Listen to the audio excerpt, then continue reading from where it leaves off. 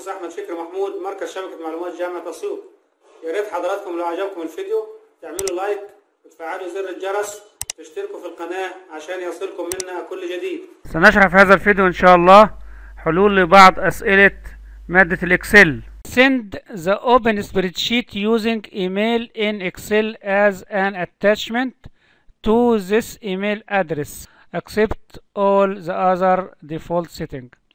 Send the open spreadsheet يعني معاك ملف مفتوح حضراتكم اللي هو ده. عاوز استخدم الإيميل اللي في الإكسل وابعته ك attachment لل email address ده للعنوان ده. هفتح قائمة file واختار من حضراتكم save and send ومن هنا أضغط حضراتكم على send as attachment.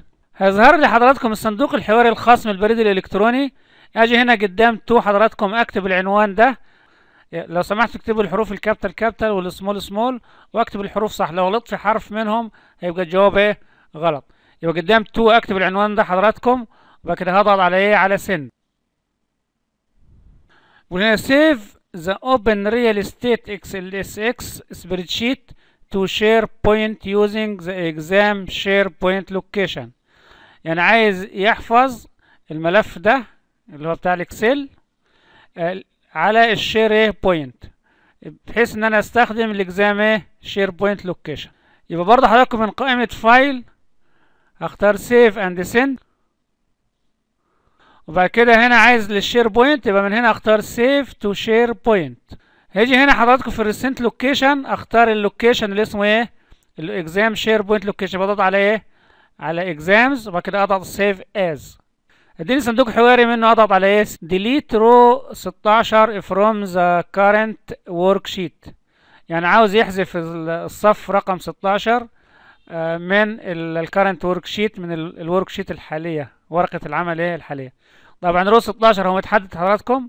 ممكن أعمل click يمين عليه واختار delete وممكن من إيه تبويب home هنا أضغط على زر إيه delete اللي هو في تبويب إيه home في ال group اللي اسمها إيه cell What is the name of the active worksheet? يعني إيه حضراتكم؟ إيه اسم ال worksheet النشطة؟ فطبعا لو دققت النظر هنا حضراتكم هتلاقي ال worksheet النشطة اللي اسمها حضراتكم team B طبعا السؤال ده اختياري حضراتكم.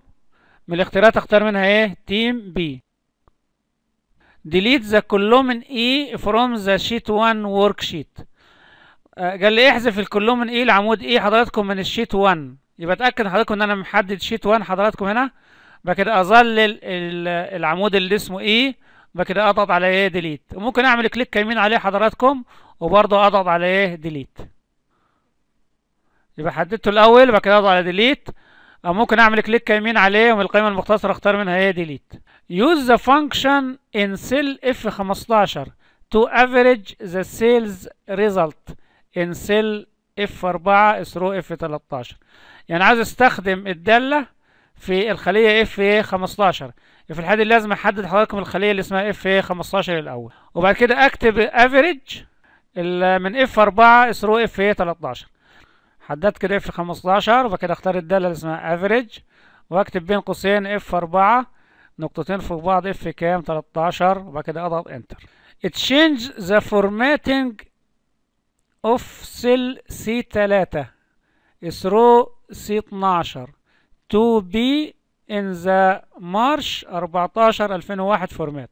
يعني حضراتكم عايز أغير تنسيق التاريخ في الخلية من C 3 إلى C 12 محددهم وجاهزين هما إلى الشكل ده اللي هو ده حضراتكم تلاحظوا ده اسمه long date long إيه date فطبعا هختار هنا من أضغط على السهم ده حضراتكم هتظهر لي قائمة أختار منها long إيه date change cell D 17 so that the text is wrapped in the cell. في ال cell D 17 حضراتكم أدي حرف ال D هو D 17 شايفين النص شكله إزاي حضراتكم؟ يعني تحس إنه داخل في العمود اللي إيه؟ اللي جنبه. في العمود اللي هو إيه وفي العمود إيه؟ اف فأنا عايز يعمل wrap لل text في الخلية دي يعني يعني يعمل التفاف للنص يعني ما يخرجش بره هذه إيه؟ الخلية. فاولا هحدد الخلية اللي هو قال لي عليها اللي اسمها D 17 أحددها الأول بعد كده أضغط على الايقونه اسمها wrap إيه text اللي هي الايقونه دي. يبقى حددت الخلية الأول بعد كده أضغط على إيه wrap text using a formula in cell I8 calculate the commission on the closing price of mills شباك الرقم ده. يعني عاوز أستخدم معادلة في الخلية I 8 فين I 8 حضراتكم؟ I 8 هنا حضراتكم. يبقى لازم أحدد الخلية I 8 الأول وبعد كده أحسب ال commission of the closing price فين ال closing price اللي هي إيه؟ الرقم ده closing price اللي هو 350 ألف. ال commission ده كام حضراتكم؟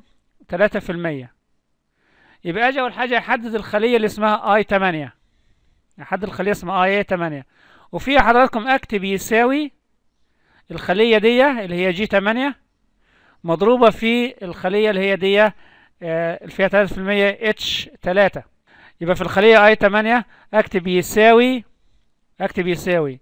جي 8 مضروبا في اتش 3 أحدد الخلية الأول بعد كده أكتب إيه؟ يساوي G 8 في H 3 بعد كده نقول هنا إيه؟ Move the chart on sheet 1 to sheet 2 Don't use uh, cut and paste action. يعني لاحظ حضرتك انه عاوز ينقل ال chart من sheet واحد إلى sheet اتنين.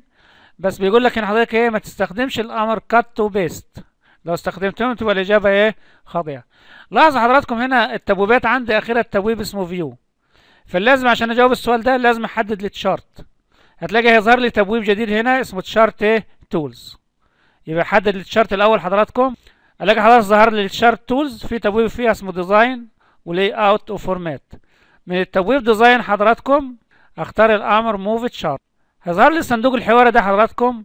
آه لو اخترت هنا new sheet يبقى يحطها لي في sheet جديدة.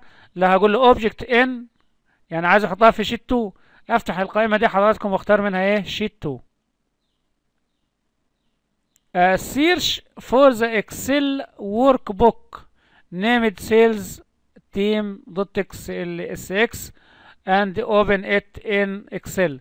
يعني عايز بيجيب لي نافذة window حضرتك اهو ال windows عايز يعمل إيه؟ يفتح ملف Excel اسمه sales team يبقى just حضراتكم من قائمة start هنا. هاجي في صندوق البحث واكتب sales team حضراتكم. هيظهر لي الاسم في القائمة وبعد كده اختاره. يبقى كده أنا إيه فتحت الملف اللي هو قال لي عليه. يبقى هنا هكتب اسم حضراتكم في صندوق البحث. Sales team dot XLSX هتلاقي اسم حضراتكم هيظهر لي في النتائج هنا. أعمل click عليه يبقى كده أنا فتحت الملف. والسلام عليكم ورحمة الله وبركاته.